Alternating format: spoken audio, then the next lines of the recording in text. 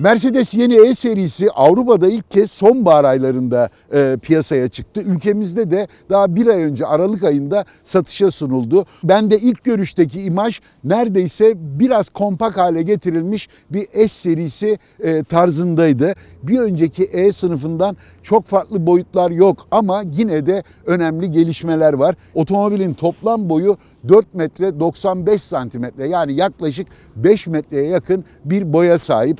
Aynalar hariç 1 metre 88 santimetrelik eni var ve 1 metre 47 santimetrelikte bir yüksekliği var.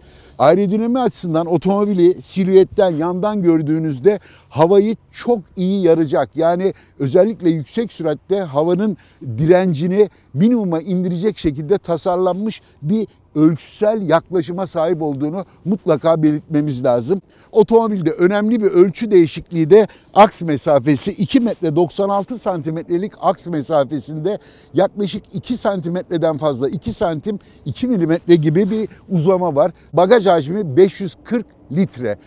Dolayısıyla bu ölçülerin iç hacme çok büyük katkısı var. Baş mesafeleri arka koltukta yaklaşık yarım santimetre daha fazla. Bacak mesafesinde 1.7 santimetre gibi fazlalaşma var. Elektrikli Mercedeslere yani EQ serisine benzer bir tasarım yaklaşımına doğru gittiğini söyleyebiliriz. Mesela çok baskın bir ön ızgara görüyoruz.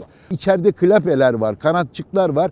Otomobilin içerisindeki 1500 santimetre küplük turbo motorun soğuma ihtiyacı neyse o oranda önden hava alıyor. Şu anda mesela hava soğuk olduğu için çoğu kapalı e, konumda. Yani bunu şöyle söyleyeyim size. Eskiden bundan 30 sene önce e, hava soğuk olduğunda insanlar e, ızgaranın önüne yani radyatör girişine kartonlarla, gazete kağıtlarıyla kapatmalar yaparlardı. Motor sıcaklığı fevkalade önemli bir parametredir. Yani motor tasarlanırken toleranslar tamamen operasyon sıcaklığına göre e, tasarlanır. Yani metalin o sıcaklıktaki operasyon sıcaklığındaki genleşme miktarlarıyla motorun çalışma e, parametreleri birebir e, kontrol edilir. Bunun dışında mesela aşırı bir soğuma, aşırı ısınmada performansın çok etkilendiğini e, mutlaka belirtmemiz lazım. Dolayısıyla bu klapelerin fonksiyonu fevkalade önemli. Izgarayla e, farlar arasında klasik bir tarzda siyah bir yüzeyin olduğunu yani ayrılmış olduğunu görüyoruz. Ayrıca otomobilin önden görünüşüne prestij kazandıran ön ızgaranın üzerinde krom bir çerçevesi var. Yatay çıtalar var. Bir de tabii burada klasik ön taraftaki yıldız, kaputun üzerindeki yıldız Mercedes kullanıcılarının o dönemde çok beğendiği bir şeydi. Bence şu anda da etkili olacağını düşünüyorum.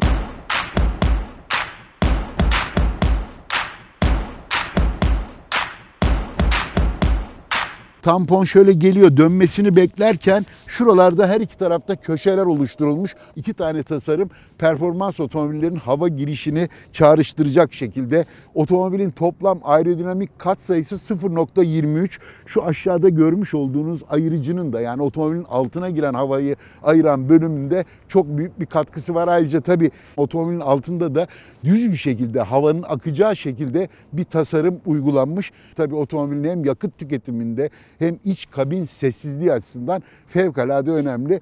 Kabinin içerisindeki desibel yani gürültü seviyesi çok çok az diyebilirim. Buradan ön taraftaki panjurdan kaynaklanan birleşim yerlerinde bile e, sesi engelleyecek şekilde izolasyon malzemeleri kullanılmış. 3 hacimli sedan bir otomobil. 3 hacimli derken şunu kastediyorum motor bölmesi, yolcu bölmesi ve arkada da bagaj bölmesi. 3 e, hacimli bir otomobil olmasına rağmen kupe tarzı bir tasarıma sahip olduğunu görebiliyoruz. Ön kaput uzun tutulmuş, çok eğimli bir ön camdan sonra yolcu kabini geriye doğru çekilmiş. Arka tarafta kısa bir bagaj e, kaputu görüyorsunuz. Çok kısa çünkü dediğim gibi kabin arkaya doğru geliyor. Ayrıca çok önemli bir detay C sütununa, üçüncü sütuna dikkat edin. Çok eğimli ve gittikçe genişleyen tarzda yapılmış. Yani dururken bile dinamik bir görüntüye sahip oluyor. İz mesafesinin geniş olmasından dolayı çamurluklar gövdeye daha dışarıdan entegre oluyor. Hem önde hem arkada. Aks mesafesi uzaması daha çok ön tarafta etkili. Ön tarafta tekerin son noktasıyla otomobilin uç noktası arasındaki mesafe çok kısa. Arkaya oranlarsanız ön aksın merkezinden ön cama olan mesafe de uzun. Uzun kaput. Bunların hepsi sportif bir hava kazandırıyor. Onun dışında cam oranının arkaya doğru çok azalmadığını görüyoruz. Bütün cam çerçevesi krom parçayla e, belirlenmiş. Yere yani yüzeye paralel yaklaşık olarak paralel gittiğini görüyorsunuz. Kapı kollarının da mesela aerodinamiğe çok ciddi bir katkısı var. İçeride gövdeye entegre oluyor. Siz yaklaştığınızda kapı kolları dışarı çıkıyor veya dokunduğunuzda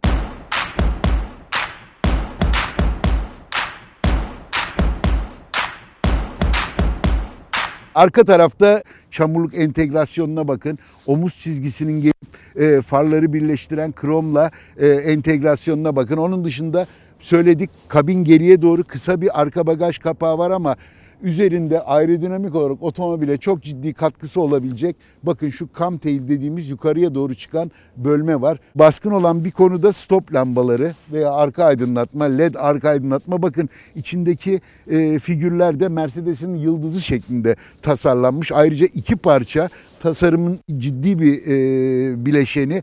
E, gövde üzerinde dış kısım var, bagaj üzerinde iç kısım var. Bunlar otomobilin genişliğini vurgulamak için krom sürekli bir çerçeveyle bağlanmış. Alt tarafta da paralel yine krom bir e, tasarım elemanının olduğunu görüyoruz. Ayrıca en son şunu da belirtmek lazım. Aynı ön tarafta olduğu gibi çamurlukların köşe e, kısımları dışarıya doğru çıkık yapılmış. Bu da otomobilin performans, sportif görüntüsüne çok ciddi katkıda bulunuyor bence.